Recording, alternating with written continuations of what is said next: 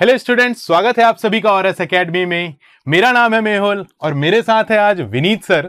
और हम दोनों आज आप सभी को हेल्प करने वाले हैं। आप सभी के जेई मेंस के अप्रैल अटेम्प्ट में आने वाले जो क्वेश्चंस हैं, उनके रिगार्डिंग आज हम लोग डिस्कस करने वाले हैं बच्चों पी और जो टॉपिक है हम लोगों का आज वो है units and dimension Vineet sir, आप बताइए कि कैसा टॉपिक है, क्या है यहाँ पे? ये ये टॉपिक आपका बहुत इजी टॉपिक है और इससे अच्छी चीज़ ये है कि हर बार दो या तीन क्वेश्चंस ज़रूर आते हैं। तो अप्रैल के अटेम्प्ट में भी आपके में दो या तीन क्वेश्चंस ज़रूर आएँगे।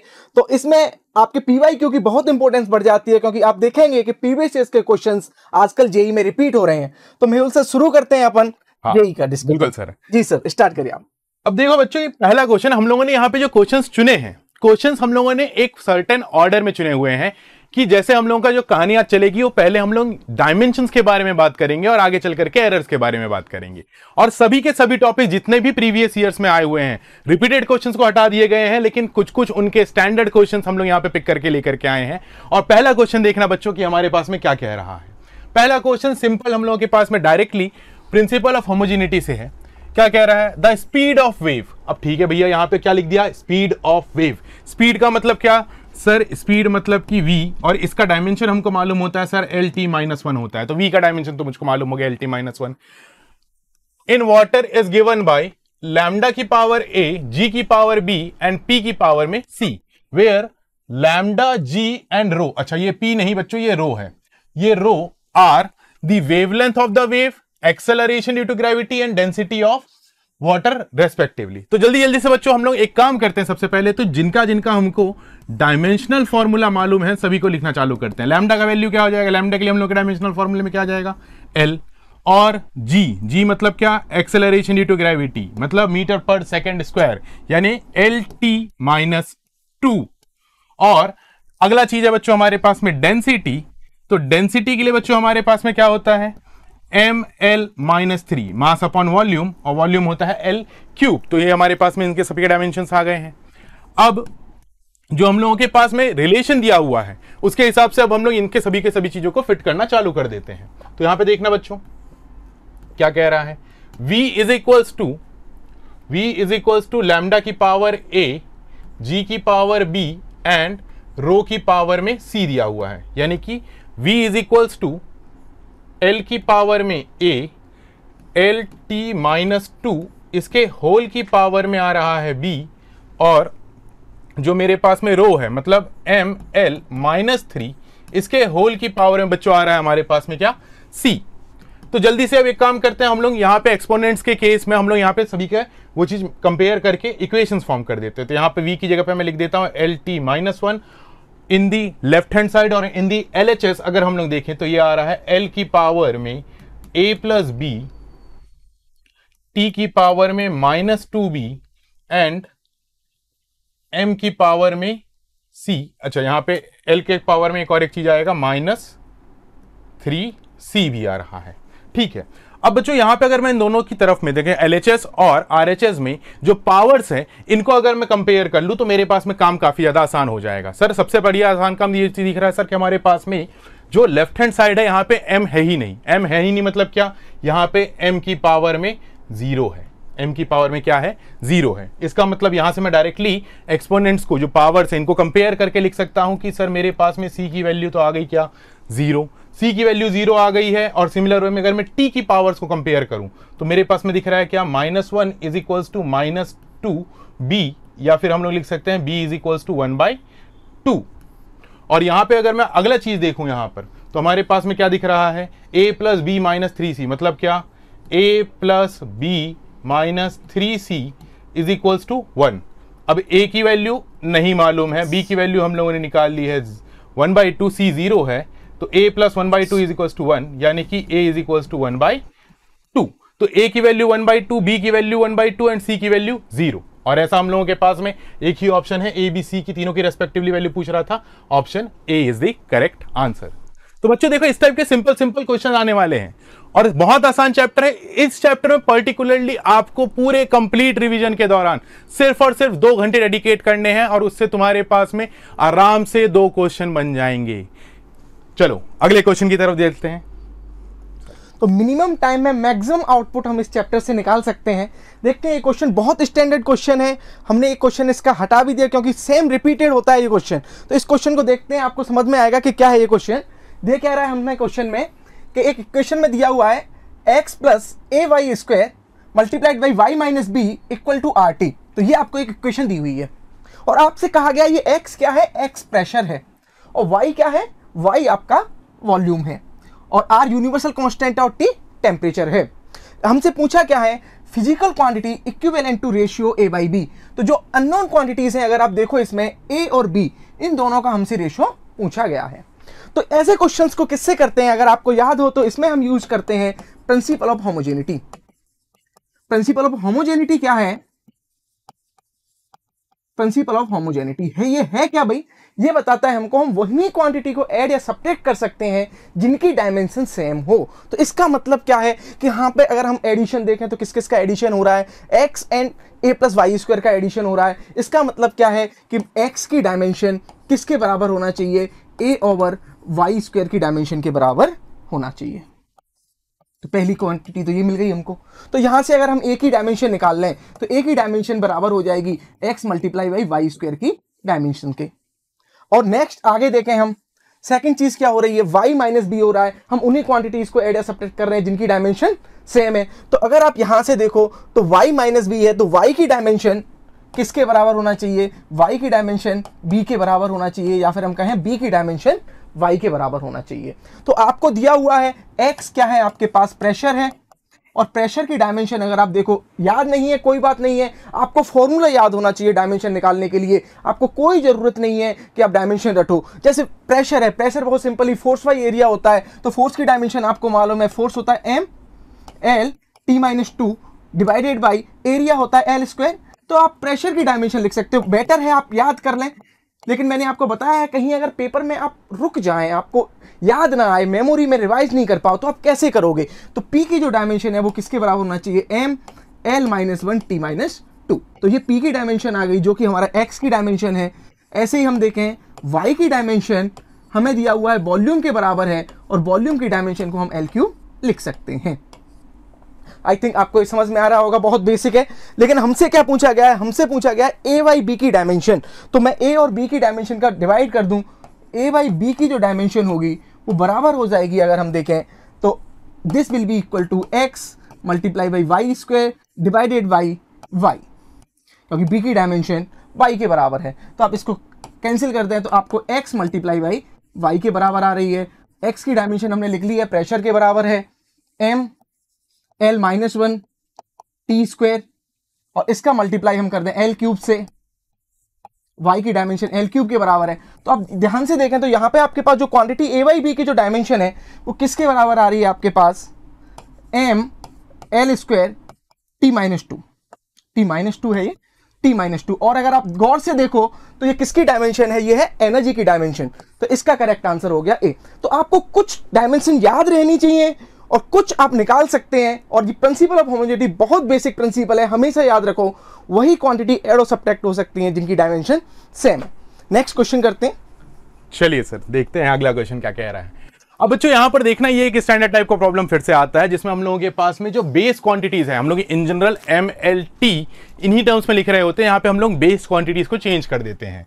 तो वो एक स्टैंडर्ड टाइप का प्रॉब्लम पड़ जाता है। If force velocity and time are considered as fundamental physical quantity. Fundamental physical quantities में अगर हम लोग इनकी मान लेते हैं, अभी हम लोग एमएलटी की जगह पे एफ़ वी और टी को लेते हैं तो dimensional formula of density will be अब ठीक है डेंसिटी का डायमेंशनल फॉर्मूला क्या होता है?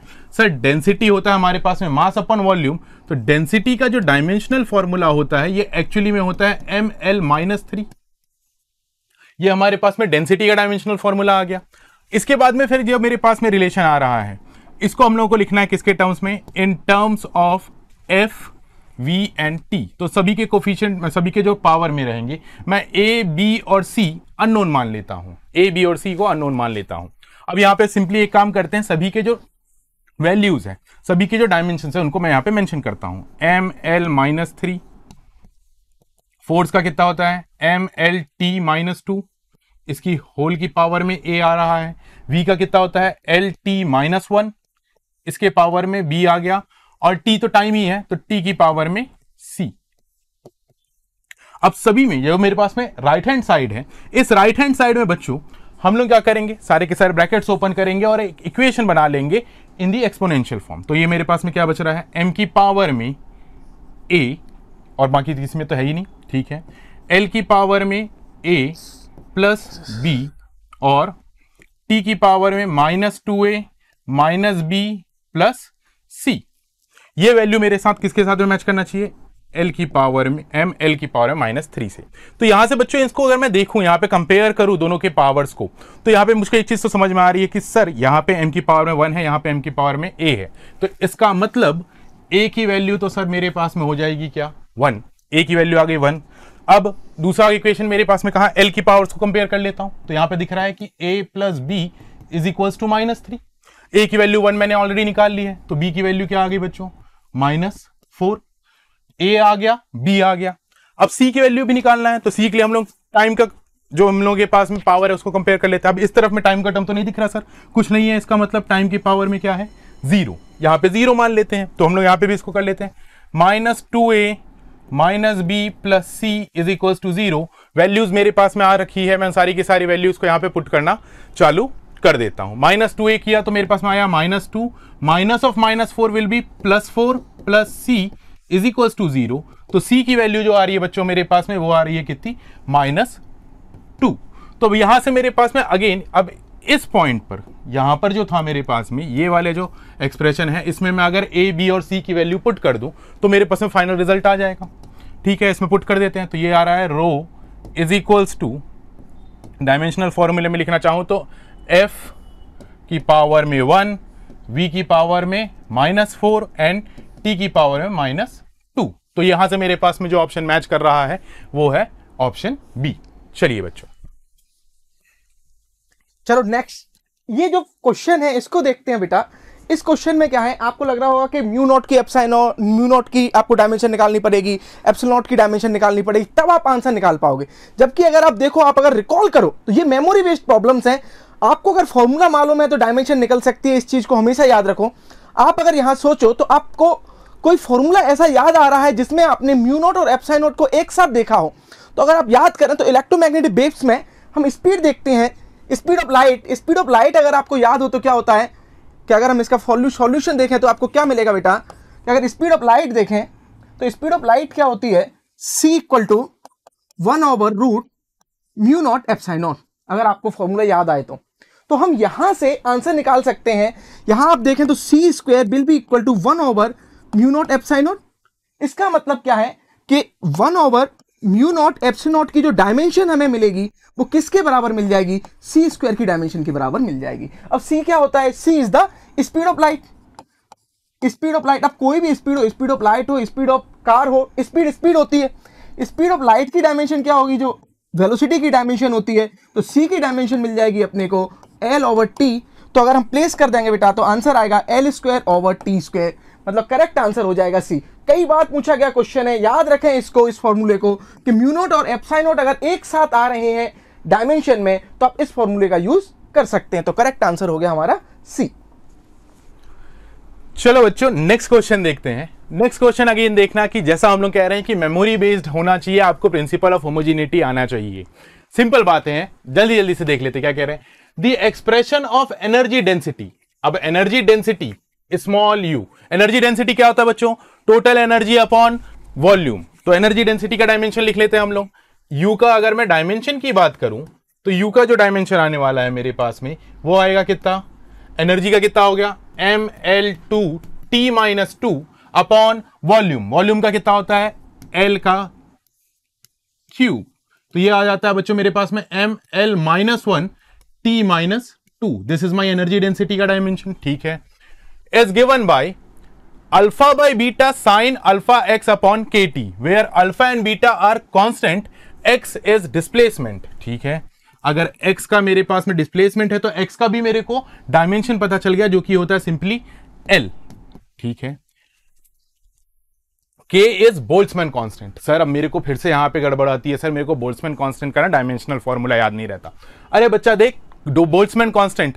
अब तेरे को याद करना है कि बोल्समैन कांस्टेंट आता कहाँ पर है? हाँ बिल्कुल सही। केटीजी जब हम लोग पढ़ते थे, वहाँ पर हम लोगों के पास में ये बोल्समैन कांस्टेंट आया करता था। और कैसे लिखते थे हम लोग? वहाँ पे लिखते थे कि energy per molecule is given by energy per molecule is given by three by two K T. अब एनर्जी का डायमेंशन मेरे को मालूम है। M L two T minus two is equal to three by two एक मेरे पास में। कांस्टेंट है, उसमें कोई डायमेंशन होता ही नहीं है। अब के का डायमेंशन मेरे को नहीं मालूम है, इसको ऐसा लिख लेते हैं। और जो टी है, यहाँ पे टी टाइम नहीं टेम्परेचर है। तो टेम्परेचर को रिप्रेजेंट हम लोग डायमेंशनल फॉर्मूले में किससे करते हैं? थीटा से। तो यहाँ से मेरे पास में क्या के का डायमेंशन भी निकाल सकता था क्या मैं? बिल्कुल। तो यहाँ से हम लोग क्या करेंगे? के का भी डायमेंशन निकाल करके रख लेंगे अपने पास में। के का डायमेंशन कितना आ रहा है? M L two T minus two theta की power minus one this is your dimensional formula for the Boltzmann constant. ठीक है? और टी क्या है मेरे पास में? टेम्परेचर है। The dimension of beta will be अच्छा अब बीटा का डायमेंशन पूछ रहा है। सर, मेरे को यहाँ पे तो अल्फ़ा बाय बीटा और अल्फ़ा और बीटा दोनों ही अननोन है तो यहाँ पर देखते हैं अंदर। अब बच्चों, देखना साइन जो है साइन जो कोई भी मेरे पास में ट्रिग्नोमेट्रिक फ़ंक्शन होता है तो इसके अंदर जो भी वैल्यू जाएगी that must be a dimensionless quantity तो यहाँ पे मेरे पास में कोई भी डायमेंशन लेस क्वांटिटी ही जा सकती है। इसका मतलब मेरे को एक चीज़ मालूम है कि alpha X upon K T इसका कंप्लीट डायमेंशन क्या होना चाहिए? ज़ीरो मतलब क्या m की पावर ज़ीरो l की पावर ज़ीरो t की पावर ज़ीरो या फिर इसको मैं ऐसा लिख सकता हूँ वन के बराबर भी। अब जल्दी से इसमें हम लोग देख लेते हैं। अल्फ़ा का डायमेंशन नहीं मालूम मुझको। x का डायमेंशन l है। K का डायमेंशन सर हम लोगों ने निकाल लिया है M L two T minus two theta minus one into ये जो टी है, ये टेम्परेचर है तो इसका आ जाएगा थीटा ये आना चाहिए. थीटा माइनस वन से ये थीटा कैंसिल हो गया. ये टू से ये भी कैंसिल हो जा रहा है. तो यहाँ से मेरे पास में अल्फ़ा का जो डायमेंशन है, ये बच्चों हमारे सामने आ जाता है M L T minus two के बराबर. M L T minus two के बराबर. ये मेरे पास में अल्फ़ा का डायमेंशन आ गया। अब अगेन ये एनर्जी डेंसिटी के साथ में मैच करना चाहिए। किसका अल्फ़ा बाई बीटा का डायमेंशन है, वो एनर्जी डेंसिटी के साथ में मैच करना चाहिए। तो एनर्जी डेंसिटी का डायमेंशन मस्ट बी अल्फ़ा का डायमेंशन अल्फ़ा का dimension that is M L T minus two upon beta का डायमेंशन अब एनर्जी डेंसिटी का डायमेंशन मुझको मालूम है। M L two T minus two divided by L cube किया था। Is equals to M L T minus two divided by beta का dimension ठीक है? यहाँ से इसको भी सॉल्व करके निकाल लेते हैं। ये तो यहाँ से कैंसिल कर दिया था पहले ही। और अब यहाँ पे ये m से ये वाला m कैंसिल हो गया। T की पावर माइनस टू से t की पावर माइनस टू भी कैंसिल हो गया। अब बस जो मेरे पास में बच रहा है, वो क्या बच रहा है? यहाँ पर एक एल और यहाँ पे एक एल तो बीटा का जो डायमेंशन आ रहा है बच्चों, वो आ रहा है मेरे पास में कितना? एल स्क्वायर के बराबर। और एल स्क्वायर है मतलब क्या? मेरे पास में यहाँ पर देखना, सर, सभी में तो एम भी दिख रहा है टी भी दिख रहा है, लेकिन बच्चों, यहाँ पर देखना, यहाँ पे एम की पावर ज़ीरो है, यहाँ पर भी एम की पावर ज़ीरो टी की पावर ज़ीरो है मतलब पावर ज़ीरो रहने का मतलब वन इसका मतलब option D is my correct option चलिए नेक्स्ट क्वेश्चन की तरफ़ बढ़ते हैं।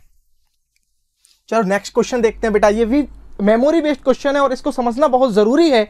कि ऐसे क्वेश्चन जिसमें एल सी आर आ रहा है, आपको लगेगा कि इनकी डायमेंशन क्या है? एल की सी की आर की। तो आप देखो कॉम्बिनेशन है जो इंपोर्टेंट है आपके लिए। आपको याद रखना है कि एल और सी का कॉम्बिनेशन आए आर और सी का कॉम्बिनेशन आए तो हम कैसे करते हैं? तो ध्यान से देखो अगर आप तो आपसे पूछ क्या रहा है क्वेश्चन में कि एल सी एंड आर और self inductance capacitance and resistance तो तीनों क्वांटिटीज आपको दी हुई है। Which of the following does not have dimension of time तो कौन सी टाइम की डायमेंशन नहीं होगी? तो अगर आप एक चीज़ रिकॉल कर पाए तो कहीं टाइम से जो रिलेशन आता था तो मुझे जो याद आ पा रहा है, वो आरसी सर्किट और एलआर सर्किट में आता था टाइम से रिलेशन हम एक चीज़ पढ़ते थे, जिसे बोलते थे टाइम कांस्टेंट तो मुझे जो याद आ रहा है कि आरसी सर्किट में, इन आरसी सर्किट जो टाइम कांस्टेंट होता था उसको हम टाउ बोले तो जो आरसी सर्किट में जो टाइम कॉन्स्टेंट होता था, वो आरसी के बराबर होता था। और याद करो कि जो एलआर सर्किट होते थे तो उसमें जो टाइम कॉन्स्टेंट होता था, वो होता था एल बाई आर तो अगर टाइम कॉन्स्टेंट बोल रहे हैं, इसका मतलब ये टाइम ही है। टाइम कॉन्स्टेंट का मतलब है, ये टाइम है। तो इसका मतलब डायमेंशनली जो टाइम की डायमेंशन और आरसी की डायमेंशन क्या होनी चाहिए? सेम तो यहाँ से एक चीज़ देख लो आप कि जो टी की डायमेंशन आरसी के बराबर। तो आरसी की डायमेंशन एक चीज़ तो मुझे समझ में आ गई कि आरसी की डायमेंशन टाइम के बराबर होगी। क्या आरसी दिया हुआ है ऑप्शन में? हाँ आरसी दिया हुआ है। तो इसकी डायमेंशन भी टाइम के बराबर होगी।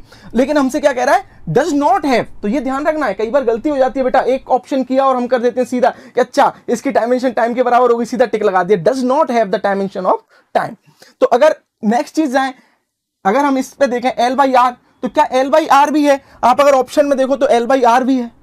तो अगर एल बाई आर है तो इसका मतलब इसकी डायमेंशन भी तो हम बेसिकली क्या कह रहे हैं बेटा? इसकी डायमेंशन एल बाई आर की डायमेंशन भी टाइम के बराबर होगी।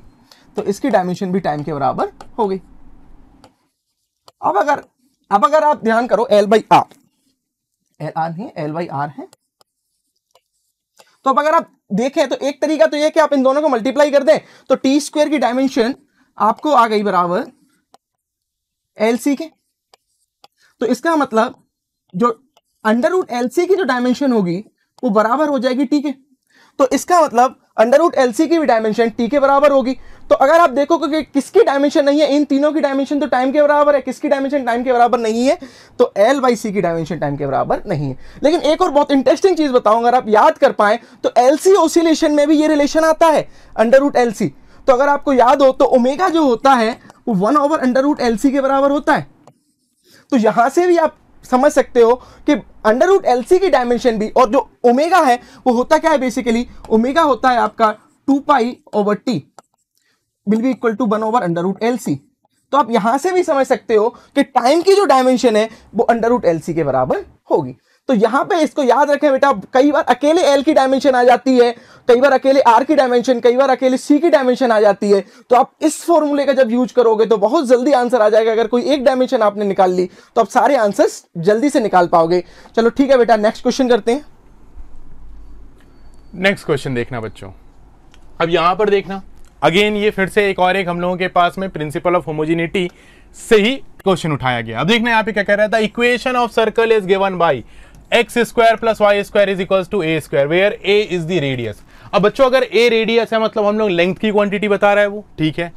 If the equation is modified to change the origin other than zero comma zero अब इसको अगर हम लोग ज़ीरो कॉमा ज़ीरो से चेंज करना चाह रहे हैं तो उसके बाद में क्या करें? Then find the correct dimension of A and B in the new equation A T और टी बाई बी के लिए, ठीक है?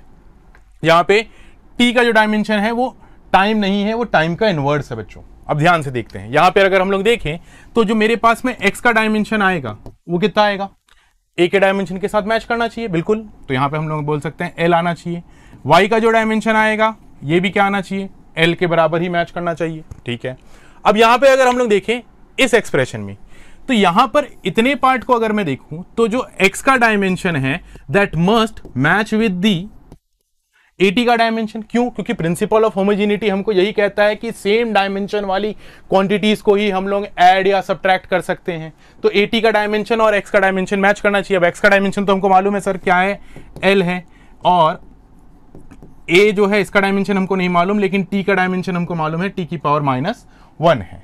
तो यहाँ से अगर हम लोग निकालना चाहें तो ए का जो डायमेंशन आ रहा है बच्चों, वो आता है कितना? एल टाइम्स टी ये कितना आता है? एल टाइम्स तो ए का डायमेंशन हमारे पास में आ गया है एल आगे बढ़ते हैं बी के डायमेंशन के लिए। बी के डायमेंशन के लिए फिर अगेन जो भी मेरे पास में वाई का डायमेंशन रहेगा, वही सेम डायमेंशन होना चाहिए टी बाय बी का। ठीक है? अब यहाँ पर देख, जो वाई का डायमेंशन दिया हुआ है, वो मेरे को कितना है मालूम है? एल होता है। तो ठीक है, इसको भी हम लोग लिख लेते हैं। L is equals to T की जगह पे मैं लिख लेता हूँ टी की power minus one upon B का डायमेंशन तो यहाँ से मेरे पास में जो बी का डायमेंशन आ रहा है, वो आ रहा है कितना? L minus one T minus one तो बी का डायमेंशन होगा L minus one T minus one और ए का डायमेंशन होगा एल टाइम्स टी तो ऐसा हमारे पास में ऑप्शन बी है तो हमारे पास में कौन सा सही ऑप्शन हो गया बच्चों? ऑप्शन बी बहुत सिंपल क्वेश्चन इस टाइप का ही आएगा तुम लोगों के पास में, ठीक है? चलिए, आगे देखते हैं। नेक्स्ट प्रॉब्लम अब आप कहोगे, बार बार सर आप प्रिंसिपल ऑफ़ होमोजिनिटी की स्लाइड्स लेके आ गए और सारे एक जैसे क्वेश्चंस ले आए। भाई, सारे एक जैसे क्वेश्चन नहीं लाए हैं। आपको मोस्टली बेटा प्रिंसिपल ऑफ़ होमोजिनिटी इतना इंपॉर्टेंस है, ये बता रहा है आपको। हमने जो भी क्वेश्चन चूज़ किए हैं, वो बेटेज के हिसाब से चूज़ किए हैं। सबसे ज़्यादा किससे क्वेश्चन आते हैं? तो आप देखोगे सबसे ज़्यादा क्वेश्चन आते भी प्रिंसिपल ऑफ़ होमोजिनिटी से हैं। तो अगर आप यहाँ पे देखो तो क्वेश्चन क्या है? क्वेश्चन देखते हैं पहले। इन टिपिकल कंबशन अब इसकी स्पेशल चीज़ क्या है? अब मुझे, देखो कितना कॉम्प्लिकेटेड कर दिया। टिपिकल कंबशन इंजन आपको कुछ नहीं पता कंबशन इंजन क्या होता है। लेकिन इसके बारे में आपको ज़्यादा वरी करने की ज़रूरत नहीं है। आपका फोकस होना चाहिए सिर्फ़ और सिर्फ़ बेटा डायमेंशन पे। तो आपको क्या दिया हुआ in typical combustion engine the work done by a gas molecule is given by तो वर्क डन डब्ल्यू है। वर्क डन है आपका डब्ल्यू भाई इंजन जो वर्क कर रहा है डब्ल्यू है, वो आपको दिया हुआ है alpha square beta E raise to ये ई e की पावर है बेटा E raise to beta X square over K by T K T right X X क्या है? डिस्प्लेसमेंट है। तो वही, अगर अपन देखें तो एक्स डिस्प्लेसमेंट है डिस्प्लेसमेंट मतलब एक्स की डायमेंशन हो गई अपने पास, अगर एक्स को देखें एक्स डिस्प्लेसमेंट एक्स की डायमेंशन हो गई एल और क्या दे रहा है बेटा? के बोल्ट्समैन कॉन्स्टेंट दिया है। अभी लास्ट क्वेश्चन में हमने देखा है बोल्ट्समैन कॉन्स्टेंट की dimension T is the temperature तो एक और अब आपको एक इंटरेस्टिंग चीज़ बताऊँ कि अधिकतर अब आप देखो लास्ट क्वेश्चन में भी के साथ में आए थे। इसमें भी के साथ में आ रहे हैं। इसका मतलब अगर हम चाहें तो के को एक साथ यूज़ कर सकते हैं। मोस्टली के आपको क्वेश्चन में एक साथ मिलेंगे। तो अगर हम के को एक साथ देखें तो डायमेंशन किसके बराबर होगी? के मल्टीप्लाई बाई टी की। हमने देखा एनर्जी ऑफ़ वन मॉलिक्यूल क्या है अपना? Three by two K into T तो अगर मैं देखूँ तो के इंटू टी की जो डायमेंशन होगी बेटा, वो एनर्जी की डायमेंशन के बराबर हो जाएगी। मैं इसको एनर्जी की डायमेंशन लिख लेता हूँ के इंटू टी की डायमेंशन एनर्जी की डायमेंशन के बराबर हो जाएगी। तो सबसे पहले हमसे पूछ क्या रहा है बेटा कि हमसे पूछ रहा है कि dimension of alpha will be तो अल्फ़ा की डायमेंशन क्या होगी?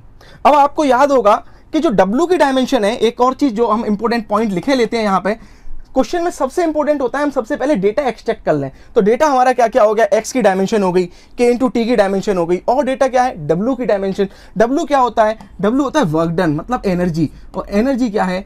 इसकी भी डायमेंशन चलो मैं तो एनर्जी के बराबर ही लिख लेता हूँ। क्योंकि अब मैंने बार बार मैं क्यों नहीं लिख रहा? मैंने एनर्जी की डायमेंशन में लिख, चाहता तो एनर्जी की एक्चुअल डायमेंशन लिख लिया। अब देखो ये सारी चीज़ें आपस में कट जाएँगी एंड में।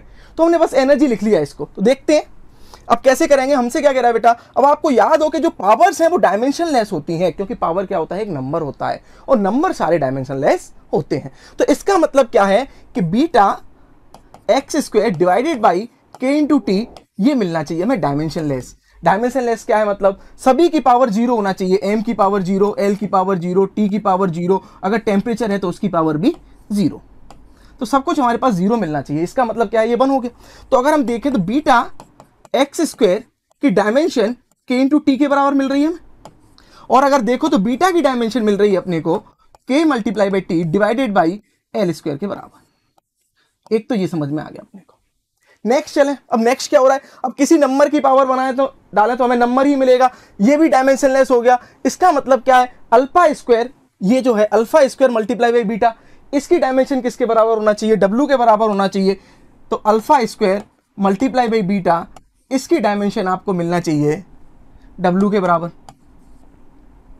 अब हमें किसकी डायमेंशन निकालनी है? हमें डायमेंशन निकालनी है अल्फ़ा की। हमने देखा तो यहाँ से बीटा की डायमेंशन निकाल ली। वैल्यू फीडिंग करनी है अब तो अपने को। This will be equal to alpha square multiply by beta की डायमेंशन मिल रही है अपने को। एनर्जी की dimension divided by X square की जो एल स्क्वायर मिल गया अपने को विल बी इक्वल टू और डब्ल्यू की डायमेंशन अगर अपन देखें यहाँ से तो डब्ल्यू की डायमेंशन हमने लिख लिया है, पहले ही एनर्जी के बराबर है।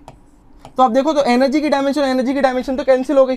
तो अल्फ़ा की जो डायमेंशन है आपको आ रही है एल के बराबर। तो अगर अपन ऑप्शन देखें तो कौन सा ऑप्शन अपना सही हो रहा है इसमें? एल मतलब एम की पावर ज़ीरो टी की पावर ज़ीरो अकेला एल की पावर वन तो करेक्ट आंसर हो गया हमारा बी तो इस तरह से आप फास्ट आंसर्स भी कर सकते हो। ज़रूरी नहीं है कि हर डायमेंशन हर बार आप ई e की डायमेंशन लिखते हो, फिर उसको सॉल्व करते हो। इस तरह से आप जल्दी सॉल्व भी कर सकते हो। चलिए, देखते हैं अगले क्वेश्चन को। अब अगला क्वेश्चन देखना बच्चों, यहाँ पे फिर से। यहाँ पे कई बार तुमको ऐसा ये मैच द फॉलोइंग टाइप के क्वेश्चन दे सकता है। मैच द फॉलोइंग टाइप के क्वेश्चंस में सबसे बढ़िया ट्रिक क्या होती है? सर मैं इसमें से रैंडमली जिसका जिसका मेरे को मालूम है, उसके डायमेंशंस निकाल करके पहले रख लूँ और उसके पहले ऑप्शन मैच कराने की कोशिश कर लूँ। सबसे ईजी ऑप्शन तो वही है। बट अगर मुझको इनडायरेक्टली मेरे को किसी का भी याद नहीं आ रहा है तो मैं कैसे सॉल्व करूँ? तो बच्चा, बस कुछ नहीं करना है, तुझको बस ये याद रखना है कि सर ये जो सारी की सारी जो क्वांटिटीज हैं, ये कहाँ कहाँ पर आती है कौन कौन से फॉर्मूले में आती है? यंग्स मॉडलस ठीक है। यंग्स मॉडलस सर, ये हम लोगों को याद आ रहा है कि ये स्ट्रेस और स्ट्रेन वाले चैप्टर में पढ़ा था।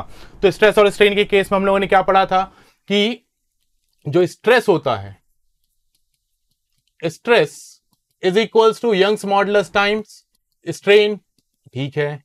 स्ट्रेन अब स्ट्रेन कैसी क्वांटिटी बच्चों? Delta L by L delta L मतलब ऊपर डायमेंशन एल का, नीचे भी डायमेंशन किसका? एल का। मतलब स्ट्रेन तो एक डायमेंशन लेस क्वांटिटी हो गई। इसका मतलब जो वाई का डायमेंशन होगा मतलब जो यंग्स मॉडल्स का डायमेंशन होगा, वो एग्जैक्टली स्ट्रेस के डायमेंशन के साथ में मैच करेगा। अब स्ट्रेस का क्या चीज़ पढ़ा था हम लोगों ने? सर, ये तो होता है restoring force upon area restoring force force का डायमेंशन मुझको मालूम है? कितना? M L T minus two upon area का डायमेंशन एल स्क्वायर तो यहाँ से मेरे पास में क्या मिल गया? यंग्स मॉडलस का डायमेंशन मिल जाएगा। कितना? M L minus one T minus two ठीक है? तो ए का ऑप्शन कौन सा कर रहा है? M L minus one T minus two तो ऑप्शन थ्री तो वन के ए के साथ में मैं यहाँ पे लिख देता हूँ थ्री मैच करेगा। Coefficient of viscosity sir coefficient of viscosity का कौन सा फॉर्मूला चलो ठीक है, इसके लिए एक काम करते हैं, हम लोग थोड़ा सा अलग जाते हैं और सॉल्व करने की कोशिश करते हैं। सर मेरे को तो वो एग्जैक्टली वाला वाला जो फॉर्मूला था, वो याद नहीं आ रहा था, जिसमें हम लोगों को वेलोसिटी ग्रेडियंट यूज़ करना होता है। मेरे को तो सर याद आया कि six pi eta R V Stokes law से हम लोगों को फॉर्मूला याद आ रहा था कि F is equals to six pi eta R V यहाँ पे क्या क्या चीज़ है टर्म्स क्या क्या है, बस तुमको ये याद रखनी है। एफ़ का डायमेंशन मुझको अगेन मालूम है कितना M L T minus two six pi एक नंबर है डायमेंशन लेस हो जाएगा। ईटा का डायमेंशन मेरे को निकालना था, ठीक है? आर मेरे पास में रेडियस होता है तो इसके लिए हो जाएगा L V velocity terminal velocity इसका मतलब L T minus one L T minus one. अब बस बच्चों, दोनों तरफ़ में सॉल्व करना है और हम लोगों के पास में आंसर आ जाना है। देखो एल से एक एल कैंसल टी की पावर माइनस वन से यहाँ से इसको कैंसिल करके मैं इसको सिंगल माइनस वन कर देता हूँ। तो यहाँ पे मेरे पास में कितना बच रहा है? M L minus one T minus one this will be my eta बस तो सिंपल हमारे पास में आ गया क्या? कोफिशियंट ऑफ़ विस्कोसिटी क्या आ रहा है? M L minus one T minus one तो ऑप्शन ये वन के साथ में मैच कर रहा है। प्लैंक्स कांस्टेंट प्लैंक्स कांस्टेंट के लिए भी सर हम लोगों को मालूम है। सर कैसे करें इसको हम लोगों के पास में? हम लोगों को मालूम है कितना होता है। एनर्जी का फॉर्मूला हमको मालूम है क्या है? Energy is equals to H mu लिखते हैं हम लोग। वेव्स के केस अब यहाँ पे अगर हम लोग यहाँ पे देखें एच म्यू तो एनर्जी का तो मेरे को मालूम है कितना होता है? M L two T minus two H mu मतलब क्या? फ्रीक्वेंसी मतलब टी की पावर में माइनस वन तो बस यहाँ से हम लोग इसको सॉल्व करके निकाल लेंगे तो आ जाएगा कितना? M L two T minus one तो एच का भी डायमेंशन मेरे पास में आ गया है। M L two T minus one तो ये ऑप्शन टू से मैच कर रहा है। अच्छा अब इसके आगे क्या मेरे को वर्क फ़ंक्शन निकालना है क्या? वर्क फ़ंक्शन निकालने की ज़रूरत ही नहीं है, एक ही ऑप्शन बच रहा है। वही के साथ में यहाँ पे मैच कर जाएगा और उसको हम लोग ऐसा करके भी सॉल्व कर सकते थे। बट अगर तेरे को वर्क फ़ंक्शन अलग से भी दे दे, ऊपर वाले कुछ नहीं आ रहे होते तो तेरे को ये बच्चा, तेरे को ये याद होना चाहिए कि वर्क फ़ंक्शन आता कौन से चैप्टर में है। बिल्कुल सही, ये हम लोगों के पास में आता है कहाँ पर? आइंस्टाइन का जो फ़ोटो इलेक्ट्रिक इफ़ेक्ट होता था, वहाँ पर हम लोग लिखते थे वर्क फ़ंक्शन तो वर्क फ़ंक्शन क्या होती है? That is the minimum energy required to emit a photon तो ये मिनिमम एनर्जी है। एनर्जी का डायमेंशन के साथ में मैच करना चाहिए वर्क फ़ंक्शन भी। सिंपल बात है। तो इसके लिए एनर्जी का डायमेंशन से मैच करा देंगे। एनर्जी का फ़ंक्शन क्या होता है? M L two T minus two, बस इससे मैच करा देना और वो ऑप्शन फोर ऐसे भी दिख भी रहा है। M L two T minus two तो यहाँ से यार सिंपल अब इसको तो क्या है? कंप्लीट मैंने तो एक एक कर करके सॉल्व किया। तेरे को तो इसमें एक एक करके भी नहीं, सिर्फ़ और सिर्फ़ कोई भी दो उठा करके सॉल्व करो सारा आंसर मैच करेगा। ठीक है? चल। तो जैसे सर ने बताया कि टाइम बहुत इंपॉर्टेंट चीज़ है कि आप पूरा सॉल्व नहीं करें। अपन ये देख लें कि कितना ज़रूरी है हमारे लिए, उतना सॉल्व किया ऑप्शन से मैच कर लिया। तुरंत हम रिज़ल्ट पे पहुँच गए। ये होना बहुत ज़रूरी है। इस क्वेश्चन को देखते हैं हम। सेम चीज़, ऐसे वो क्वेश्चन था, ये 2023 के क्वेश्चन है। एक शिफ्ट में वो क्वेश्चन पूछा गया था, दूसरी शिफ्ट में ये क्वेश्चन पूछा गया था। सिमिलर पैटर्न ऑफ़ क्वेश्चन है। तो इसमें भी क्या करना है बेटा हमको? कि वही अब देखो टाइम सेविंग लगाएँगे बेटा। हम किसी का सॉल्व करेंगे ट्राई करेंगे ऑप्शन में कहाँ तक सही पहुँचे और देखते हैं कि रिज़ल्ट कितना जल्दी ला सकते हैं हम। तो अब देखो तो हमें टॉर्क पूछ रहा है। टॉर्क अपने को पता है। टॉर्क क्या होता है? टॉर्क अगर आपको मालूम हो इसको हम टाउ से रिप्रेजेंट करेंगे। टॉर्क क्या होता है? आर क्रॉस एफ़ मतलब फोर्स का मल्टीप्लाई में डिस्टेंस से कर रहा हूँ। फोर्स क्या है अपना? M L T minus two L से मल्टीप्लाई कर दो तो क्या मिल गया अपने को? M L square T minus two M L square T minus two तो फोर्स के लिए तो ए का तो हमारे पास क्या आ रहा है? अगर अपन देखें तो M L square T minus two तो फ़र्स्ट के टॉप के लिए तो ये तो सेकंड से मैच हो गया। तुम सबसे पहले देख ले सेकंड से कौन कौन से मैच हो रहे हैं। तो मुझे समझ में आ रहा है कि अच्छा ये दोनों तो डेफिनेटली गलत हो गए। इतना से यहाँ तक पहुँच गया एक से हमने दो ऑप्शंस खत्म कर दिए। अब नेक्स्ट करके देखें तो नेक्स्ट में क्या मिल रहा है अपने को? नेक्स्ट पूछ रहा है स्ट्रेस जैसा लास्ट क्वेश्चन में भी स्ट्रेस ही था देखो इसमें भी क्वेश्चन में स्ट्रेस आ गया। तो इसका बहुत इंपॉर्टेंस है कि आप, अगर आपका किसी दूसरी शिफ्ट में है तो पिछले वाली शिफ्ट के जो मेमोरी बेस्ड क्वेश्चन आते हैं, उन्हें सॉल्व करके जाइए। उससे आपको क्या फ़ायदा मिलेगा कि पिछली चीज़ें भी देखो कई बार यूज़ हो जाती हैं। तो देखो जैसे स्ट्रेस का यूज़ हो गया पिछली शिफ्ट में तो आप स्ट्रेस का क्या होता है? अभी सर ने बताया था स्ट्रेस क्या है? स्ट्रेस है restoring force divided by area तो फोर्स का अभी हमने देख लिया। Force is M L T minus two, area is L square. तो आपके पास जो स्ट्रेस की डायमेंशन आ रही है, वो स्ट्रेस की डायमेंशन आ जाएगी M L minus one T minus two. तो हम अगर देखें कौन सा ऑप्शन बन रहा है, M L minus one T minus two तो मुझे मिल रहा है कि बी का जो आंसर है, वो फोर होना चाहिए। क्या देखें? तो देखो, आपका आंसर यही खत्म। अब आपको नेक्स्ट करने की कोई ज़रूरत है नहीं। आप कितनी जल्दी आंसर ला सकते हैं, वो इंपोर्टेंट होता है। आपको चारों ऑप्शन सॉल्व करने की ज़रूरत नहीं है। आपके अंदर एक कॉन्फिडेंस होना चाहिए कि हाँ जो मैंने दो सॉल्व किए वो हंड्रेड परसेंट सही है। बाकी के तो अपने आप सही हो जाएँगे। तो आप देखो तो करेक्ट आंसर क्या आ रहा है आपका। बी का फोर आ गया। आप देखो तो बाकी तो डेफिनेटली सही होने हैं। तो करेक्ट आंसर इसका डेफिनेटली सी होना चाहिए। लेकिन आप फिर भी देखना चाहे, कई बार कंफ्यूजन होता है। इस ग्रेडियंट वर्ड का मतलब प्रेशर ग्रेडियंट इस ग्रेडियंट का मतलब क्या होता है? ग्रेडियंट मतलब चेंज और किसके साथ में change with the distance change क्या हो रहा है? तो विद द डिस्टेंस चेंज मतलब प्रेशर ग्रेडियंट। तो प्रेशर ग्रेडियंट क्या है? जस्ट वेरीफाई करा रहा हूँ बेटा, आंसर आ चुका है अपना। तो प्रेशर ग्रेडियंट ग्रेडियंट वर्ड जब भी आए, इसका मतलब हमेशा एक ही चीज़ होती है टेम्परेचर ग्रेडियंट प्रेशर ग्रेडियंट के डिस्टेंस के साथ में कोई चीज़ कैसे चेंज होगी। तो प्रेशर ग्रेडियंट देखें तो प्रेशर के साथ में तो प्रेशर की डायमेंशन डिवाइडेड बाय डिस्टेंस के साथ में मतलब एल प्रेशर क्या है? प्रेशर फोर्स अपॉन एरिया है। फोर्स अपॉन एरिया डायमेंशन देखो, ऊपर लिखी हुई है फोर्स अपॉन एरिया की। तो क्या मैं इसको लिख सकता हूँ? M L minus one T minus two divided by अगर हम देखें तो एल माइन एल तो आपके पास क्या आ गया? प्रेशर ग्रेडियंट की dimension M L minus two T minus two तो देखे, कौन सी डायमेंशन मिल रही है बेटा? तो सी का फ़र्स्ट हाँ सी का फ़र्स्ट ऑप्शन में भी सही मिल रहा है। आप चाहे तो तीसरा भी चेक कर सकते हैं, जिससे आपकी निगेटिव मार्किंग नहीं हो। कहीं आपने दो में गलती कर दी है तो आप तीसरा चेक कर सकते हैं कई बार। तो देखो डेफिनेटली फोर्थ जो डी है कॉपिशियंट ऑफ़ बिस्कोसिटी जो लास्ट में सर ने कराया था डेफिनेटली ये तो सही होगा ही। मैं दोबारा रीचेक नहीं करके दिखा रहा हूँ। तो रेट मीन्स कि इसका करेक्ट आंसर सी ही होगा। तो आप टाइम सेव करने का ध्यान रखें, कब तक आपको सोल्व करना है, ये आपको मालूम होना चाहिए। ठीक है, देखते हैं बेटा नेक्स्ट क्वेश्चन देखते हैं। देखना बच्चों। अब देखना ये डायमेंशनल फॉर्मूले के केस में, अब हम लोग डायमेंशन से बहुत देर से खेल रहे हैं डायमेंशन का भी मान सकते हैं हम लोगों के पास में, ये आखिरी क्वेश्चन है। इसके बाद में हम लोग एरर्स में चले चलेंगे, ठीक है। पहले देख the dimension of B square upon mu naught will be अब बच्चा, ये एक लाइन का आंसर है। ना तो तेरे को बी स्क्वायर की वैल्यू याद रखनी थी, ना तो तेरे को म्यू नॉट का डायमेंशन याद रखना था। तेरे को तो बस ये चीज़ याद होनी चाहिए कि, सर, हमारे पास में जो एनर्जी डेंसिटी होती है मैग्नेटिक फ़ील्ड के केस में that is given by B square upon two mu naught इसका मतलब ये जो एनर्जी डेंसिटी आ रही है, ये जो एनर्जी डेंसिटी आ रही है, इसका डायमेंशन और B square upon two mu naught इनका डायमेंशन सेम होना चाहिए। और टू तो मेरे पास में एक नंबर है।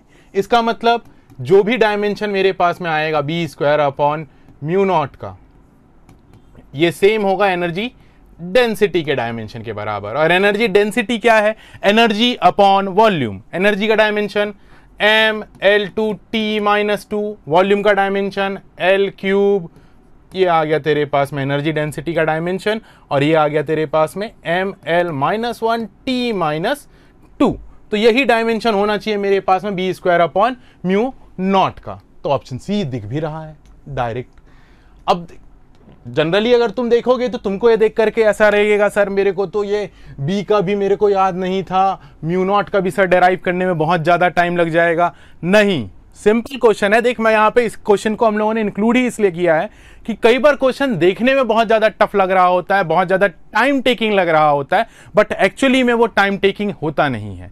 और बच्चों पर्टिकुलरली ये जो डायमेंशन वाला जो चैप्टर है इस चैप्टर में इसकी खुद की अगर मैं सही बात में बोलूँ तो इसकी खुद की ज़्यादा कोई औकात है नहीं।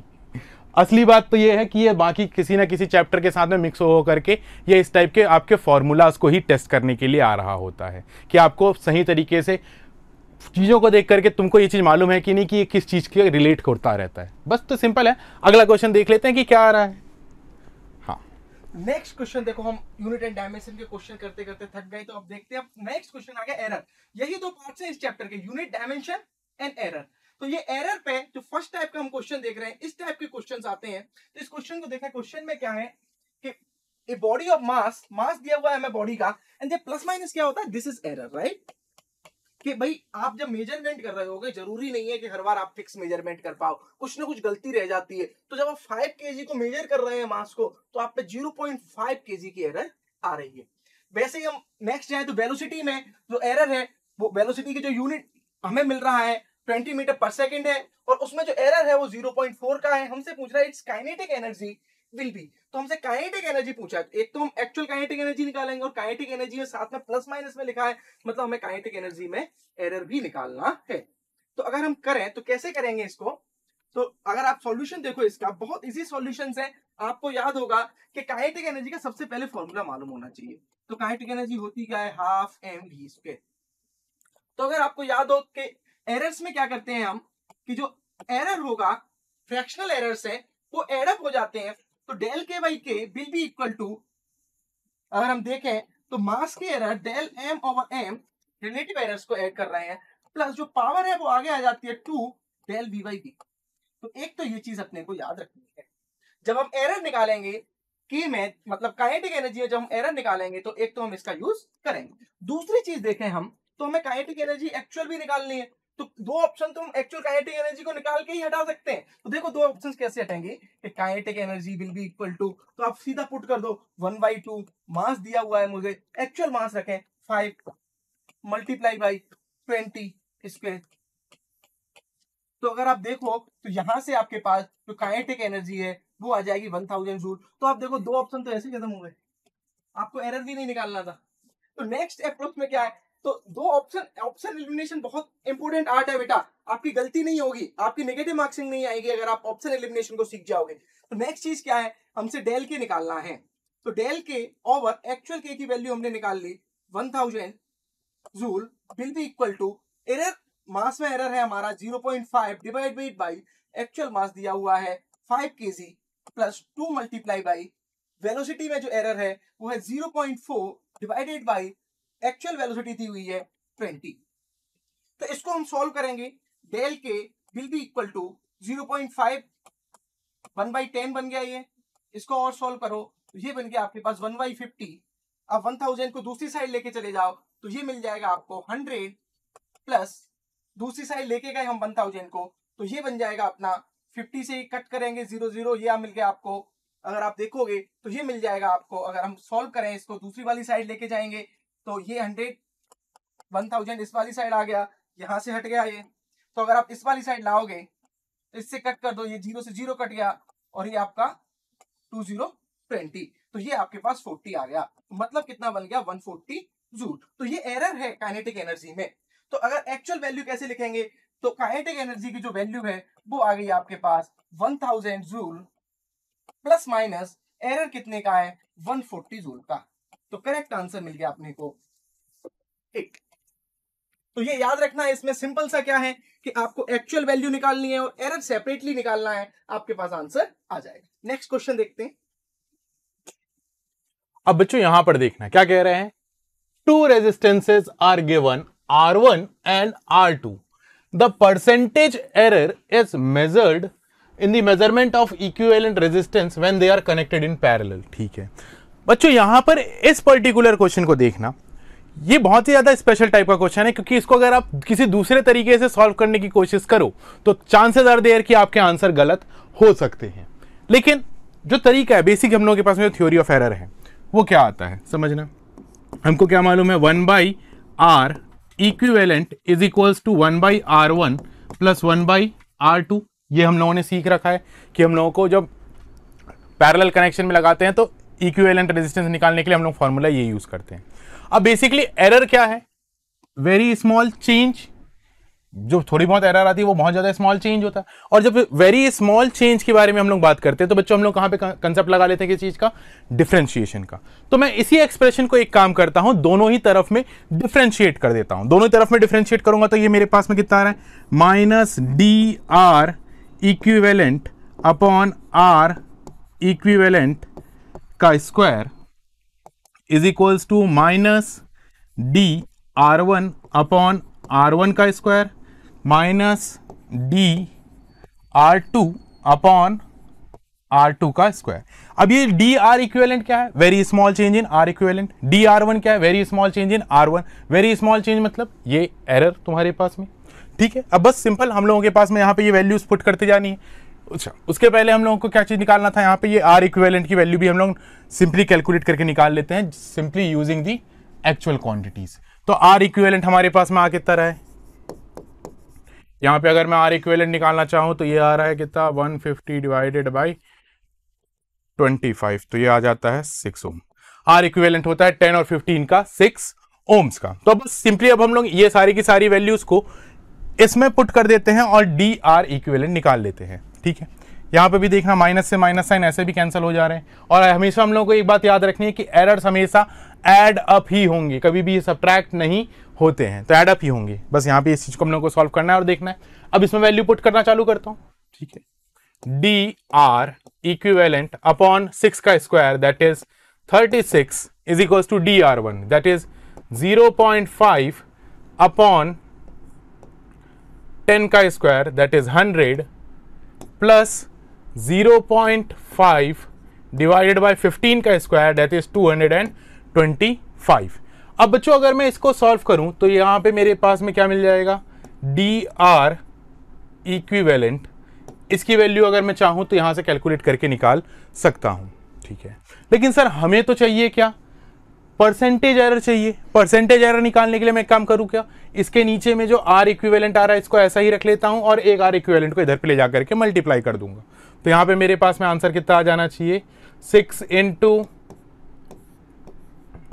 zero point five by thousand plus zero point five upon two hundred and twenty five अब बस बच्चों, तुमको अभी इस एक्सप्रेशन को सॉल्व करना है तो तुम्हारे पास में relative error in R equivalent आ जाएगा। अगर इसको परसेंटेज एरर में कन्वर्ट करना है तो मेरे पास में इसी क्वांटिटी को मल्टीप्लीकेशन बाई हंड्रेड करना पड़ेगा और हमारे पास में कंप्लीट आंसर आ जाएगा। अब बस सिंपली इसको सॉल्व करना है, इसको अब अगर आप लोग सॉल्व करेंगे तो मोस्ट प्रोबेबली आपका जो आंसर आएगा, ये आएगा फोर पॉइंट थ्री थ्री अब इसको तरीका सॉल्व करने का यही रखना है। आप कहीं भी ये इस टाइप का फॉर्मूला यूज़ नहीं करना। कि सर हम लोग इसको सॉल्व करने के लिए ऐसा कर देते हैं कि R equivalent is equals to R one R two upon R one plus R two अगर तुम इस फॉर्मूले को लगा करके अगर कुछ थोड़ी सी भी गड़बड़ हुई तो तुम्हारे पास में आंसर बहुत ज़्यादा गड़बड़ आ सकता है। तो बेटर तरीका यही है कि आप जो बेसिक्स है, उन्हीं में स्टिक करो और इसमें ही आगे आप अपना प्रोसीड करते रहिए। तो इसका आंसर आपके पास में आ जाएगा 4.33 इसको बस सिंपली आपको सॉल्व करना था। चलिए। लास्ट क्वेश्चन बेटा, बहुत अच्छा क्वेश्चन है, आप अपने माइंड में हमेशा याद रखें उस क्वेश्चन को।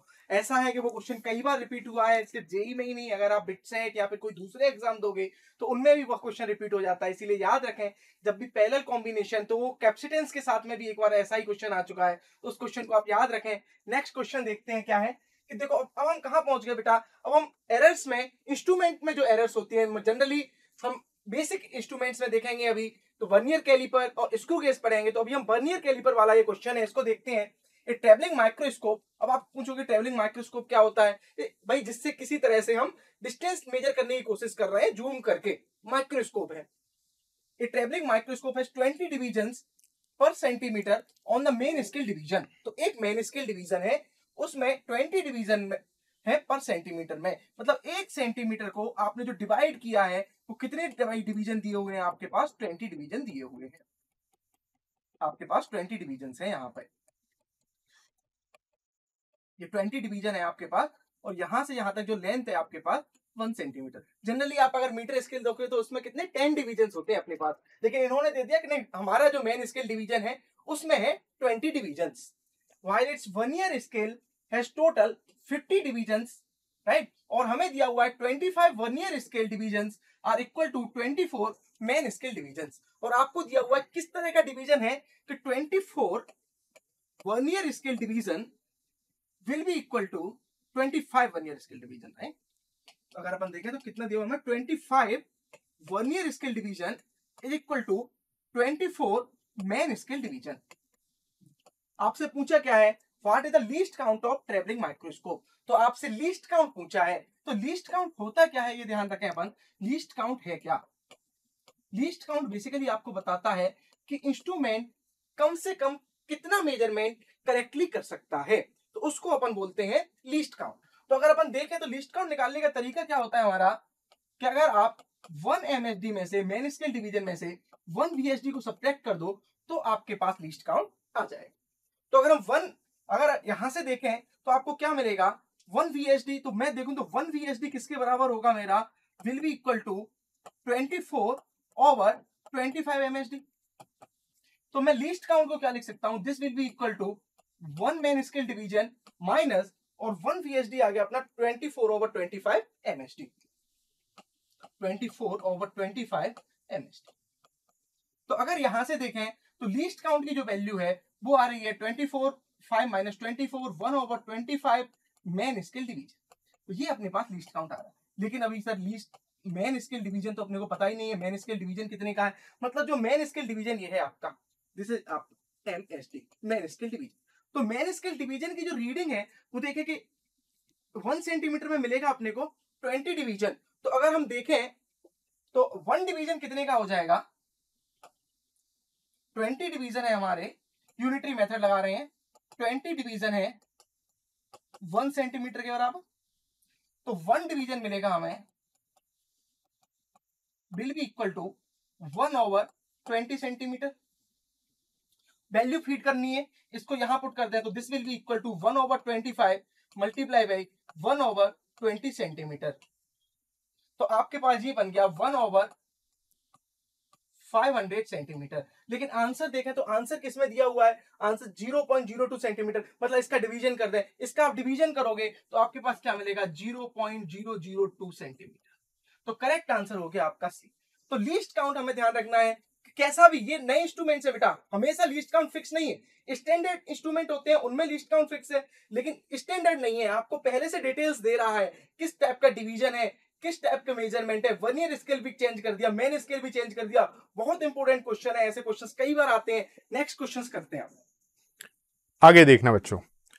अब देखना, यहाँ पे क्या कह रहा है the maximum error in the measurement of resistance current and time for which the current flows in an electrical circuit are one percent two percent and three percent ठीक है, यहाँ पे लिख लेते हैं। Percentage error in R is 1%. Percentage error in I current is given by 2% and percentage error in time is 3%. अब क्या कह रहा है the maximum percentage error in the detection of dissipated heat will be अब heat कितना dissipate हो रहा है तो जूल्स लॉ ऑफ़ हीटिंग से हमको मालूम है कि हीट जो डिसिपेट होता है that is given by I square R T ठीक है? अब अगर मेरे को परसेंटेज एरर पूछ रहा है तो percentage error in heat is equals to अब एरर्स का के, केस में हम लोगों के पास में क्या होता है बच्चों? Two times percentage error in I plus percentage error in R plus percentage error in T basically हम लोगों के पास में जब कभी भी क्वांटिटीज मल्टीप्लाई हो रही होती है तो उन सभी का जो रिलेटिव एरर होता है, उसको हम लोग डायरेक्टली ऐड कर देते हैं। और रिलेटिव एरर को मल्टीप्लाई बाई हंड्रेड करने से हमारे पास परसेंटेज एरर आता है। तो वो सारा का सारा स्टेप मैंने एक ही बार में लिख दिया है, यहाँ पर। अब बस बच्चों, यहाँ पर वैल्यू हम लोगों को पुट करते जाना है। देखते जा क्या करना है। Two into percentage error in I तो ये कितना हो जाएगा? Two into two plus percentage error in R is one plus percentage error in T is three तो आंसर आ गया मेरे पास में कितना? Four plus four that is eight तो आंसर आएगा मेरे पास percentage error in heat dissipated will be eight तो बच्चा देख, यहाँ पर भी तेरे को बस ये बात याद याद रखना था था कि तेरे को जूल्स लॉ ऑफ़ हीटिंग याद रहे। बस। बाकी तो क्वेश्चन बहुत ही ज़्यादा सिंपल है, बहुत इजी है। यहाँ पर मैक्सिमम एरर कैसे निकाला जाता है, ये कंसेप्ट बहुत ही सिंपल कंसेप्ट है। बस यहाँ पे ये चीज़ था बच्चों, तुम्हारे पास में। चलिए अब लोग आगे देखते हैं तो क्या कर रहे थे लीस्ट काउंट निकाल रहे थे। तो एक टाइप के जो क्वेश्चन होते हैं, वो होते हैं जिनमें हम लीस्ट काउंट निकालते हैं। अब ये दूसरे टाइप का क्वेश्चन है क्वेश्चन पढ़ते हैं, पूछ क्या रहा है। तो देखो क्वेश्चन में क्या है? The vernier constant of vernier caliper is zero point one M M it has a zero error of minus zero point zero five centimetre while measuring the diameter of a sphere the main scale reading is this and coinciding one scale division is five five और हमसे पूछा है the correct diameter will be तो correct diameter जो correct measurement है, वो क्या होगा? तो अगर हम लिख लें तो हमें दिया हुआ है वर्नियर कांस्टेंट वर्नियर कांस्टेंट क्या होता है? यही होता है लीस्ट काउंट या फिर जिसको अपन लीस्ट काउंट जो वर्नियर कैलिपर का जो लीस्ट काउंट है, उसको हम बोल रहे हैं वर्नियर कांस्टेंट तो लीस्ट काउंट जो मिल रहा है, वो है आपके पास 0.1 एम दूसरा क्या दिया हुआ हमें ज़ीरो एरर दिया हुआ है। और ज़ीरो एरर क्या दिया हुआ है? नेगेटिव में दिया हुआ है। ज़ीरो एरर आपको दिया हुआ है नेगेटिव में। तो नेगेटिव एरर है minus zero point zero five centimetre. Next क्या है? नेक्स्ट दिया हुआ है बर्नियर डिवीज़न। और आगे बढ़े उससे पहले हमें मेन स्केल डिवीज़न। जो एमएसडी की जो रीडिंग है एमएसडी दिया हुआ है 1.7 सेंटीमीटर। और कोइंसाइड कर रहा है जो वीएसडी की रीडिंग है वन ईयर स्केल डिवीज़न में जो रीडिंग दी हुई है, वो दी हुई है फाइव ये वन ईयर स्केल की रीडिंग है और ये आपके पास मेन स्केल की रीडिंग तो हमसे पूछा क्या है कि एक्चुअल रीडिंग क्या होगी? तो देखो सिंपल सा तरीका क्या होता है बेटा कि हम अगर रीडिंग देखें तो रीडिंग क्या होती है? विल बी इक्वल टू अगर हम लीस्ट काउंट का मल्टीप्लाई कर दें मेन स्केल डिवीज़न प्लस जो मेन स्केल के जो भी रीडिंग है मेन स्केल डिवीज़न का जो रीडिंग है प्लस और जो रीडिंग हमारे पास वर्नियर कैलिपर का जो रीडिंग है मल्टीप्लाई बाई लीस्ट काउंट तो ये अपने पास रीडिंग आएगी। तो अगर हम ध्यान से देखें इसमें तो रीडिंग दी हुई हमें 1.7 प्लस वर्नियर स्केल में फिफ्थ डिवीज़न के साथ मिल रहा है। मल्टीप्लाई बाई लीस्ट काउंट दिया हुआ है आपको 0.1 पॉइंट mm तो हम 0.1 पॉइंट mm का मल्टीप्लाई करते हैं। तो ये रीडिंग है। लेकिन हमें निकालना है करेक्ट रीडिंग क्या होगी? क्यों? क्योंकि ज़ीरो एरर भी साथ में दिया हुआ है। तो करेक्ट रीडिंग क्या मिलेगी आपको? अब एक चीज़ ध्यान रखो, जब भी ज़ीरो एरर नेगेटिव होगा तो वो ऐड होता है। ज़ीरो एरर अगर पॉजिटिव होगा, इसका मतलब है कि हमको वो सब्ट्रैक्ट करना पड़ेगा। यहाँ पे देखें तो नेगेटिव दिया हुआ है ज़ीरो एरर। तो हम क्या करेंगे? जो रीडिंग आई है अपनी, उसके साथ में इसको ऐड कर देंगे। तो आपके पास एक्चुअल रीडिंग क्या मिल जाएगी? 1.7 सेंटीमीटर में है। रीडिंग का बहुत इंपॉर्टेंस है बेटा। 1.7 सेंटीमीटर प्लस 5 मल्टीप्लाई बाई 0.1 अब आप यहाँ पे आप देखोगे तो एमएम में दिया हुआ है और आपसे आंसर सेंटीमीटर पे पूछ रहा है। तो हम किसमें कन्वर्ट कर लेंगे इसको? अगर आप चाहो तो क्योंकि 0.1 पॉइंट mm दिया हुआ है तो हमें इसको कन्वर्ट करना पड़ेगा सेंटीमीटर में। तो आप सेंटीमीटर में कन्वर्ट करने के लिए ten to power minus one का मल्टीप्लाई कर दें। ये सेंटीमीटर में आ गया। और क्योंकि ज़ीरो एरर नेगेटिव में है तो नेगेटिव वाला ऐड हो जाएगा plus zero point zero five centimetre. तो अब अगर हम इसको आगे सोल्व करें तो अपने को क्या मिलेगा? 1.7 प्लस इसका मल्टीप्लाई कर दें, ये हो जाएगा point zero one point zero one का फाइव से मल्टीप्लाई करोगे तो ये मिल गया point zero five plus point zero five centimetre. इसको और फर्दर सॉल्व करें तो आपको मिलेगा 1.8 सेंटीमीटर। अब यहाँ पे आपको और और भी गलती कर सकते हो आप। कई बार आपको लग सकता है अच्छा 1.8 अच्छा 1.8 आ गया तो 1.8 लगा दे। लेकिन आंसर हमें सेंटीमीटर में नहीं दिया। आंसर दिया हुआ है आपको ten to power minus two centimetre में। तो आप इसको माइनस टू में कन्वर्ट करोगे तो क्या मिलेगा आपको? 180 multiply by ten to power minus two centimetre तो करेक्ट आंसर होगा आपका 180 तो करेक्ट आंसर आ गया आपके पास 180 न्यूमेरिकल टाइप क्वेश्चन था। तो हमेशा न्यूमेरिकल टाइप में याद रखना है कि एंड में ये जो यूनिट दी हुई है, हमें इसी यूनिट में आंसर देना है। यूनिट की वजह से न्यूमेरिकल टाइप कई बार गलत हो जाता है और याद रखें कि ये रीडिंग मेजर करने का यही तरीका है बेटा। Main scale division plus VSD plus least count और नेगेटिव एरर को आप देखोगे कि अगर नेगेटिव में है तो नेगेटिव एरर को अपन ऐड कर देते हैं। अगर पॉजिटिव एरर है तो राइट सब्ट्रैक्ट कर देते हैं। चलो नेक्स्ट क्वेश्चन देखते हैं। अगले क्वेश्चन को देखना बच्चों। अब यहाँ पे अगेन देखिए, फिर से वही क्वेश्चन हमारे पास है परसेंटेज एरर मेज़रमेंट बच्चों देखो, ये इस टाइप के क्वेश्चन फ्रीक्वेंटली रिपीट हुए हैं। हम लोग वैसे ही क्वेश्चंस को उठा करके लेकर के आए हैं, जो क्वेश्चंस बार बार रिपीटेड सेम कंसेप्ट पर आ रहे थे। जैसा कि देखो, हम लोगों ने अभी जब पहला क्वेश्चन जो इसके जस्ट पहले क्वेश्चन जो मैंने डिस्कस किया, वो भी सेम इसी कंसेप्ट पर था। क्या कह रहा है? For Z is equal to A square X cube Y की power one by two where A is constant अब बच्चा, अगर ए कॉन्स्टेंट है तो उस पर कोई एरर का मेज़रमेंट रहेगा इसमें कुछ एरर आ ही नहीं सकता, वो पहले ही कॉन्स्टेंट है यार। ठीक है? If percentage error in measurement of x and y are 4% and 12% respectively. Then percentage error of z will be, ठीक है? तो देख लेते हैं। परसेंटेज एरर इन z, इसको लिखूं तो देख percentage error in z is equal to अब ए स्क्वायर तो कांस्टेंट है, इसका मतलब इसमें कोई एरर की पॉसिबिलिटी है ही नहीं, इसको अलग कर दे। अब इसको मैं लिख सकता हूँ कि three times percentage error in x plus half times percentage error in y बस सिंपल, इतना ही करना था। अब percentage error in X is given as four ठीक है, लिख लेते हैं।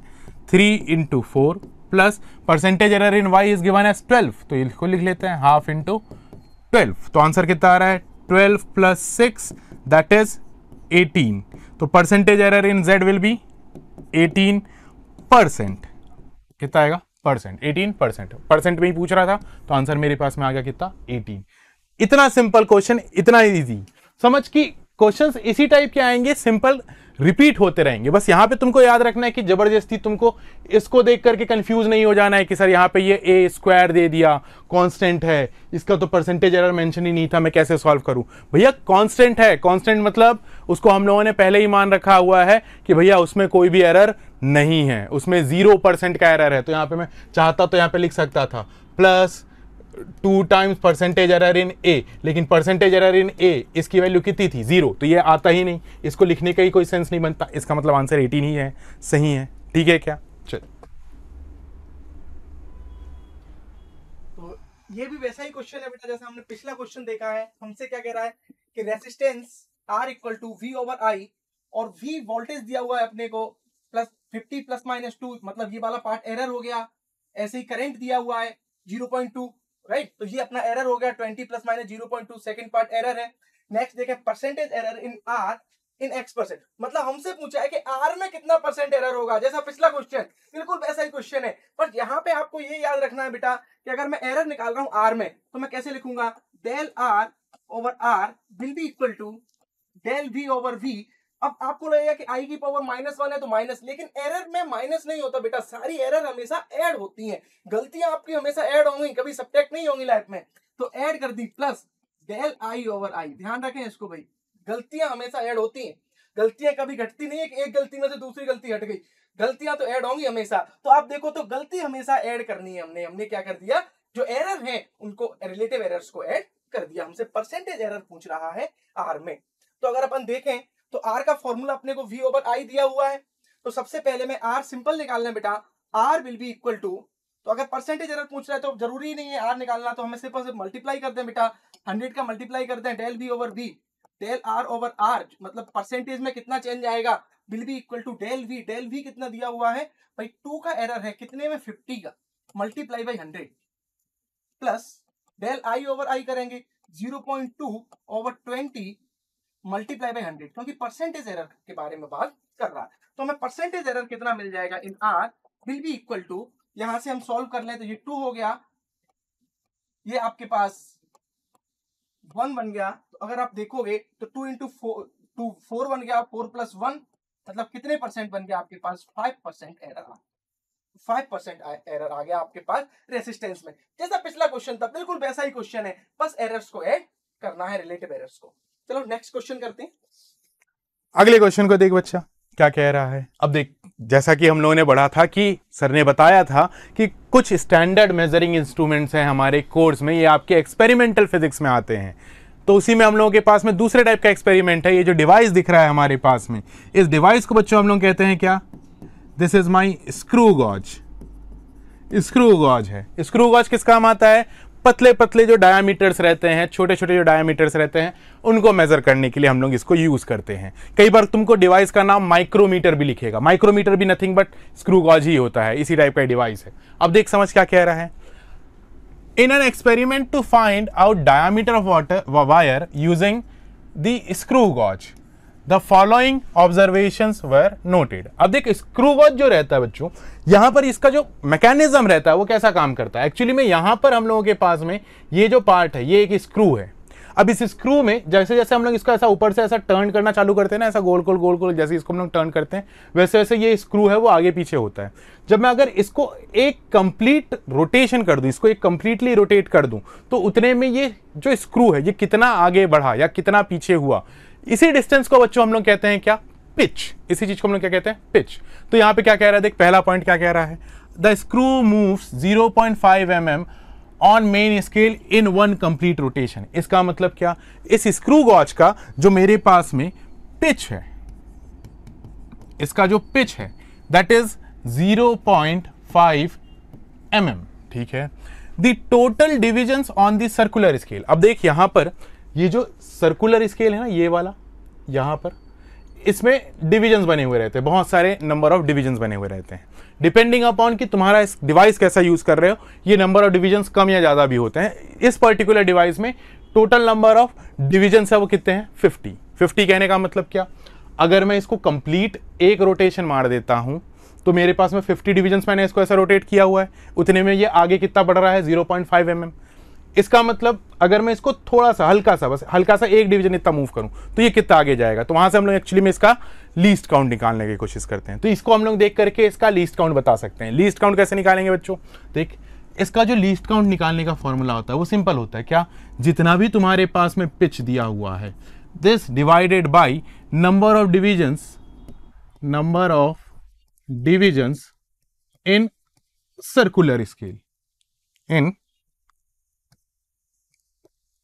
circular scale तो नंबर ऑफ़ डिविजन कितने हैं? फिफ्टी तो इसका लीस्ट काउंट कितना हो गया? Zero point five divided by fifty तो इसका हम लोगों के पास में लीस्ट काउंट भी हमारे पास में आ जाना है। कितना आएगा ये? Zero point zero one M M का मेरे पास में इसका लीस्ट काउंट आ चुका है ठीक है? द मेन स्केल अच्छा sorry the main scale reading is 2.5 point mm अब इसका मेन स्केल कौन सा है? यहाँ पर जो रीडिंग तुम्हारे पास में दिख रहा होता है, ये तुम्हारे पास में मेन स्केल है। मेन स्केल मतलब क्या? एक एक कंप्लीट रोटेशन मारा तो इतना मूव करेगा, दो, दूसरा रोटेशन मारेंगे तो ये आगे और बढ़ेगा। ऐसा ऐसा करते करते तुम्हारे पास में मेन स्केल का जो रीडिंग आ रहा है, ये कितना आ रहा है? टू ठीक है। अब उसके बाद क्या कह रहा है? The forty fifth division of circular scale is in the pitch line जो फोर्टी फिफ्थ डिविजन है, वो इस पिच लाइन के साथ में मैच कर रहा है, वो यहाँ पे दिखा भी रहा है कि फोर्टी फिफ्थ डिविजन मैच कर रहा है। अब तुमसे पूछ रहा है, और इंस्ट्रूमेंट जो हम लोग यूज़ कर रहे हैं, उसमें नेगेटिव एरर भी है। नेगेटिव एरर मतलब क्या? जब मेरे पास में इसको मैं नॉर्मली, जब इन दोनों के दोनों के जॉस को अगर मैं एक दूसरे के साथ में चिपका करके रखूँ तो आइडियली वैल्यू मेरे पास में क्या आनी चाहिए थी? ज़ीरो आनी चाहिए थी। ये ज़ीरो ना आकर के कुछ और रीडिंग आ रही है, और वो जो रीडिंग आ रही है, उसके करस्पॉन्डिंग हम लोगों के पास में जो एरर आ रहा है, उसी चीज़ को हम लोग क्या कह रहे हैं? दैट इज़ 0.03 का नेगेटिव एरर आ रहा है। तो ठीक है, अब इस केस में भी हम लोग अगेन वही सेम कहानी चलेंगे जैसा हम लोग वर्नियर स्केल में निकालते थे कि रीडिंग निकालने का तरीका क्या होता है। जो हम लोग रीडिंग निकालेंगे this reading will be main scale का reading plus least count into circular scale का रीडिंग ये रीडिंग मैं रीड करूँगा। तो ये रीडिंग कितनी आ रही है? मेन स्केल का रीडिंग कितना दिया हुआ है? 2.5 तो यह आ गया 2.5 प्लस लीस्ट काउंट कितना हो गया? Sir 0.01 point zero one into circular scale का रीडिंग कितना? 45 45 तो इसको अगर मैं सॉल्व करूँ तो ये कितना आ रहा है मेरे पास में? Two point nine five M का रीडिंग आया। लेकिन ये मेरे पास में फाइनल आंसर है क्या? नहीं। यहाँ पे मैंने अभी भी ज़ीरो एरर को इनकॉर्पोरेट नहीं किया हुआ है। ज़ीरो एरर के लिए हम लोगों को करना है क्या? नेगेटिव ज़ीरो एरर आ रहा है मतलब इतनी वैल्यू जो आ रही है, इतना मेरे को इसमें और बढ़ाना पड़ेगा। पहले इतना जो वैल्यू आ रहा था वो, इतना इसमें और बढ़ाना पड़ेगा तो इसमें हम लोगों के पास में इतना ही वैल्यू और ऐड कर देंगे। तो यहाँ से मेरे पास में कर लिखना पड़ेगा क्या कि ये जो हमारे पास में एक्चुअल डायामीटर आएगा that will be equal to 2.95 plus इसके लिए जो करेक्शन अप्लाई करना है, वो मेरे को करना पड़ेगा 0.03 का। तो आंसर आना चाहिए मेरे पास में कितना? 2.98 मिलीमीटर्स का। 2.98 मिलीमीटर्स का। तो option C is my correct option चलिए लास्ट क्वेश्चन की तरफ़ बढ़ते हैं। इतना जितना बड़ा क्वेश्चन आपको लग रहा है बेटा, उतना बड़ा क्वेश्चन है नहीं। इससे दो तीन चीज़ें जो हमको सीखनी है इस क्वेश्चन से, वो सीखते हैं। सबसे पहले क्वेश्चन पढ़ा क्वेश्चन क्या है? कि एक एक्सपेरिमेंट है। तो उसमें क्या है? यंग्स मॉडुलस की वैल्यू निकाल रहे हैं। क्या कर रहे हैं? यंग्स मॉडुलस की वैल्यू निकाल रहे हैं। और यंग्स मॉडुलस निकालने का कुछ फॉर्मूला देखा तो ऐसा कुछ फॉर्मूला था टिप्सा। क्या है? भाई Y equal to M G L cube over four B D cube over delta कुछ इस तरह का फॉर्मूला है। और हमको दिया हुआ, एक टेबल दी हुई है। उसमें दिया जी की वैल्यू तो आपको फिक्स दे दी है 9.8 ये वैल्यू आपको पहले से मालूम थी। Without any significant errors right कोई भी सिग्निफिकेंट एरर के आपको क्या दे दिया गया है? डिफरेंट ऑब्जर्वेशन की वैल्यू दे दी गई है। और आपको क्या दिया हुआ है? Least count of the equipment use तो लीस्ट काउंट क्या होता है बेटा? इक्विपमेंट का होता है। आप अगर मीटर स्केल से मेजर कर रहे हैं तो मीटर स्केल की एक लिमिट है। उससे ज़्यादा एक्यूरेटली वो मेजर नहीं कर सकती। अगर और एक्यूरेट मेजर करना है तो आप बनियर स्केल से यूज़ करोगे। अगर और एक्यूरेट करना है तो स्क्रू गेज का यूज़ करोगे, जैसा अपन ने देखा पिछले। तो यहाँ पे अगर हम क्या कर रहे हैं, जो इंस्ट्रूमेंट यूज़ कर रहे हैं, उसका अपने को एक लिमिटेशन दिया हुआ है। वो क्या दिया हुआ है आपको कि लीस्ट काउंट है। तो जैसे आप two K G observe value है टू के जी लेकिन उसमें एरर कितना है? वन ग्राम का। ये एरर क्यों बोल रहा हूँ बेटा? मैं लीस्ट काउंट को एरर क्यों बोल रहा हूँ? क्योंकि ये लिमिटेशन है। इससे ज़्यादा एक्यूरेटली मेजर कर ही नहीं सकता था आपका इंस्ट्रूमेंट मतलब ये तो गलती हो सकती है। एक ग्राम इधर उधर आपके इंस्ट्रूमेंट से हो सकता है। तो ये एक्चुअली में ये जो लीस्ट काउंट है, वही क्या हो जाएगा? एरर हो जाएगा ड्यू टू इंस्ट्रूमेंट तो अगर आप देखोगे तो वन ग्राम का ये है। वैसे ही आपको बहुत सारी वैल्यू दी हुई है। मास है तो मास में एरर दी हुई है। जी में एरर तो दी नहीं है। मतलब जी की वैल्यू तो आपको फिक्स दे दी। इसका मतलब जी के एरर की कोई भी ज़रूरत नहीं है। बाकी क्या है? एल है। तो लेंथ ऑफ़ द बार तो लेंथ ऑफ़ बार में आपको क्या दिया? वन एम mm का दिया हुआ है। और आप मेजर कर रहे हैं वन मीटर अब यहाँ ध्यान रखना है बेटा। इधर ग्राम है और इधर किलोग्राम है। अपन को यूनिट जब हम यूज़ करें तो यूनिट का बहुत खास ख्याल रखा जाता है। लेंथ ऑफ़ द बार में अपने को एरर दी हुई है। थिकनेस ऑफ़ द बार जो कि डी है। बार मतलब बेटा ये मेजर कैसे किया जा रहा है? जब आप किसी एक रॉड को इस तरह से रखोगे और उस पर एक बेट लटकाओगे ना तो क्या होगा, नीचे की तरफ़ ऐसे दब जाएगी। तो इस तरह से मेजर किया जा रहा है, लेकिन आपको इससे कोई मतलब नहीं है कैसे एक्सपेरिमेंट किया है। आपसे तो बस एरर की बात कर रहा है। दूसरी चीज़ देखें तो डिप्रेशन जो है, कि डेल्टा की जो वैल्यू है, डेल्टा है बेटा ये, डिप्रेशन जो डेल्टा की वैल्यू है, वो आपको दी हुई है ज़ीरो पॉइंट ज़ीरो वन। और ये एरर है और वैल्यू है एक्चुअल फाइव एम हमसे पूछा है कि फ्रैक्शनल एरर क्या होगा। तो आपको अगर याद हो तो क्या बताया था मैंने आपको कि फ्रैक्शनल एरर्स क्या होते हैं आपस में? ऐड हो जाते हैं। तो अगर हम देखेंगे तो वाई किस पे डिपेंड कर रहा है? एम पे डिपेंड कर रहा है एल पे डिपेंड कर रहा है b पे और डी पे। बाकी तो जी और फोर और डेल्टा पे। बाकी तो कॉन्स्टेंट है g और फोर तो अगर अपन देखेंगे तो कैसे करेंगे? नेक्स्ट देखें अगर अपन इसको चलो लिख लेते हैं।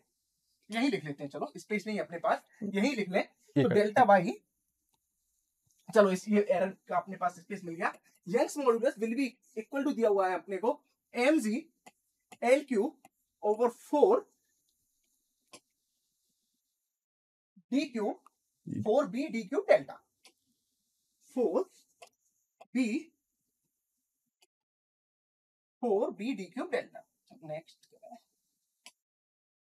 four B D Q delta तो आपको करना क्या? एरर निकालने हो देखो एरर कैसे निकालोगे बेटा? यंग्स मॉडुलस में एरर निकालना है तो delta Y over Y will be equal to delta M over M plus G में तो एरर है ही नहीं। Three delta L over L plus B में एरर क्या होगा? Delta B over B plus D में एरर क्या होगा? Three delta D over D plus यहाँ पे क्या मिलेगा? डेल क्यूब में डेल और इस, ये जो डेल्टा है स्मॉल डेल्टा बोलते हैं बेटा ओवर डेल्टा क्योंकि पावर एल तो ये आपके पास बेसिक फॉर्मूला है डेल्टा वाई ओवर वाई में एरर आ जाए। तो देखो मैं आपको करके दिखाता हूँ बेटा, अगर आपको याद हो तो लास्ट में आपको दिया हुआ है, जो एरर है आपके पास जो मास में एरर है, वो है वन ग्राम तो आप कैसे लिखोगे इसको मास में एरर को? वन ग्राम एरर है मास में. तो हम लिख देंगे one gram divided by actual mass actual mass कितना है? टू के लेकिन टू के को आप क्या लिखोगे? आप ध्यान रखो टू के को टू के नहीं लिखोगे. यूनिट चेंज करना पड़ेगा बेटा टू थाउज़ेंड ग्राम या तो ऊपर यूनिट चेंज कर लो या फिर नीचे यूनिट चेंज कर लो. प्लस थ्री अगर अपन देखें तो डेल एल की जो वैल्यू है डेल एल की वैल्यू आपको क्या दी हुई है? आप देखोगे डेल एल जो लेंथ में जो एरर दिया हुआ है, डेल एल दिया हुआ है वन एम mm का, और वन मीटर आपके पास एक्चुअल वैल्यू है। तो वन एम mm के लिए आप क्या लिखोगे? One M M divided by one metre तो वन मीटर में कितने हो जाएँगे? वन थाउज़ेंड प्लस बी में एरर देख लो। बी में क्या दिया हुआ है आपको एरर? बी में एरर दिया zero point one M M और एक्चुअल वैल्यू दी हुई है फोर सेंटीमीटर तो हम इसको वैल्यू पुट करते हैं। Zero point one M M four centimetre को भी एम mm में चेंज करना पड़ेगा। फोर्टी मिलीमीटर हो जाएगा plus three delta D over D तो delta D over D delta D में दिया हुआ है zero point zero one M M और इधर दिया हुआ है ज़ीरो पॉइंट फोर सेंटीमीटर तो आप अगर एक्चुअल वैल्यू लिखोगे तो zero point four zero point four centimetre zero point one M M तो zero point three multiply by zero point zero zero one millimetre divided by zero point four centimetre में है तो ten का multiply कर दो तो millimetre में convert हो गया प्लस लास्ट है आपके पास डेल्टा में एरर तो डेल्टा में है ज़ीरो पॉइंट वन एम का एरर है, और इसकी एक्चुअल वैल्यू दी हुई है फाइव एम एम तो अब क्या लिख दोगे? Zero point zero one divided by five zero point one ही है. देखो हाँ ज़ीरो पॉइंट वन तो अगर आप इसको सॉल्व कर लोगे तो आपके पास एक्चुअल एरर आ जाएगा. कैलकुलेशन आपको करना है कैलकुलेशन आपका स्ट्रांग होना चाहिए. जेई मेंस आपके कैलकुलेशन पे बहुत सारे क्वेश्चंस पूछता है और आप जितना फास्ट कैलकुलेशन कर पाओगे, आप उतना अच्छा एक्सेल करोगे जेई मेंस में। तो आप ध्यान रखें इस टॉपिक के बारे में। तो ये था हमारा, आप आंसर निकाल सकते हो इसका, जो डेल्टा वाई ओवर वाई आपका आ जाएगा। एक्चुअल जो आंसर आ रहा है आपका, वो क्या है? आपका आंसर है आपके पास पी आंसर दिया हुआ है zero point zero one five five M M तो आप अगर ये आंसर निकाल पाओगे तो आपका करेक्ट आंसर आ जाएगा। ध्यान रखें बेटा कि आपको गलती नहीं करनी है सी और बी एक जैसे दिख रहे हैं, लेकिन आपको एक्चुअल आंसर निकालने के बाद भी जल्दबाजी नहीं करनी है। जितना पेशेंस रखोगे, उतने ज़्यादा अच्छे मार्क्स आएँगे आपके। तो आपके पास बेसिकली ये था हमारा डिस्कशन यूनिट एंड डायमेंशन का। गुड लक बेटा, आप इस टॉपिक को जितना अच्छे से एक्सेल कर लोगे, आप उतना ही ज़्यादा अच्छा करोगे। किसी भी टॉपिक में। बस, बहुत ही सिंपल टॉपिक है। इसके लिए मैं बच्चों से ही रिकमेंड करूँगा कि जिस भी दिन आपका जेई हो, उसके पहले मुश्किल से आधे घंटे लगेंगे इस टॉपिक को रिवाइज करने के लिए। और शोर शॉर्ट एक से दो क्वेश्चन इस टॉपिक से पक्का आना है और बहुत आसानी से सॉल्व हो जाएगा विद इन सेकेंड्स एक मिनट से अगर ज़्यादा टाइम लग रहा है इस टाइप के क्वेश्चंस में तो बच्चों, तुम्हारी प्रैक्टिस सही नहीं है। बाकी बहुत आसान चैप्टर है, बहुत ईजी चैप्टर है। ऑल दी बेस्ट क्लोज करते हैं मेहुल सर हाँ, बिल्कुल। गुड बाय बेटा। Batch topic